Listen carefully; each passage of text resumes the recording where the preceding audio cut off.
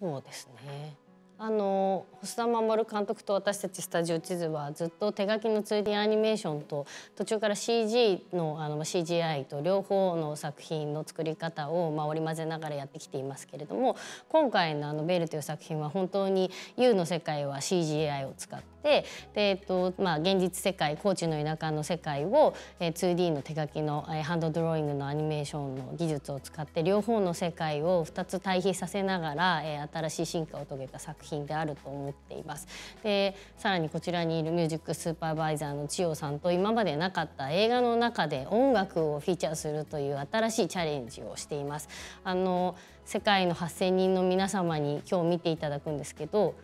7月のですね15日に、えーと、カンヌ国際映画祭のプルミエ部門というところで初めて世界の皆さんにこの映画を見ていただいてで翌日7月16日から日本での公開が始まりまして今回のピアッツァグランデの劇場で皆さんに見ていくのがこれから世界中でベルの音楽と、えー、映画を届けていく最初の、えー、オーディエンスになります、えー、素晴らしい体験を皆様にしていただければと思っています。じゃあ私から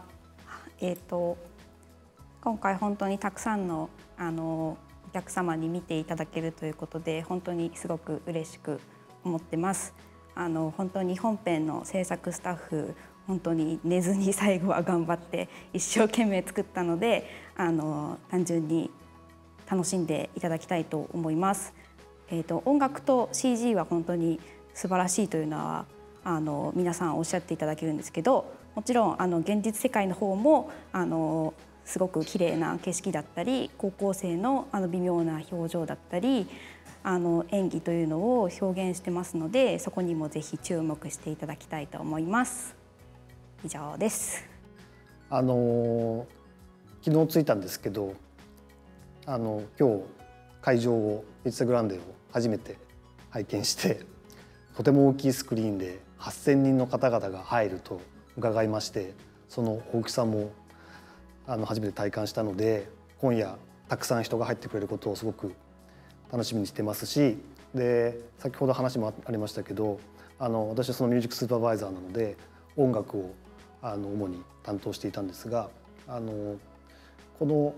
劇その劇中のインターネット空間の U という仮想空間の中でのベルという歌姫が歌う音楽というものはあの我々日本人で日本で作ってますけど世界中の人々に届くように作ってはいるので、えー、今回初めてこのスイスローカルのうちで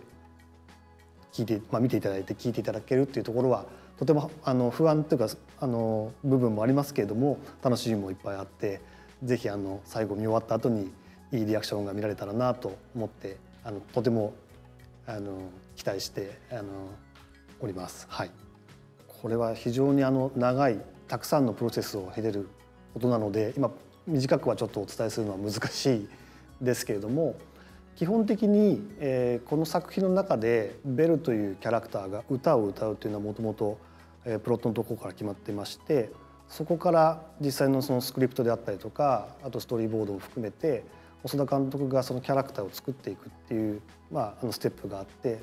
それを一緒に見ながら考えながらあのどこでどういう歌が入るかっていうのは監督とディスカッションしながら基本的にそのストーリーボードを見ながらもうその中ですでに監督がもうどこで歌うか細かく書いてあってそこには歌詞も書いてありますし歌の雰囲気もなんとなく書いてあるっていうまず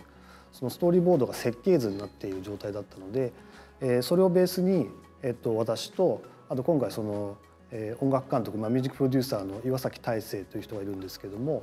えーまあ、彼と細田監督と3人でえ主にえどういう歌にするべきかというところを考えて実際に参加してくれた作曲家の方々にアサインをして、えー、割とそこはどういう歌なのかというところは監督の中ではあるんですけれどもあのこうしてくれというよりは、えー、我々でどういう曲がいいのかというのを提案をして、えー、そこで監督が OK ともらえるものを、まあ、採用していったという形なので。あの基本的にはずっと監督とディスカッションしながら我々としてはずっと提案をして一緒にその形を作っていったということがありますけどもとにかく長いプロセスで細かい日々のあのやり取りの中でやっていったので、えー、大枠はそんな感じですけども。はいえっと、本当にこの素晴らしい、えー、欧州最大の、えー、ピアッツァグランデという劇場で、えー、皆さんにこの「ベル」という作品を見ていただけることを心より嬉しく思っています、えー、ぜひお楽しみいただければと思います。はい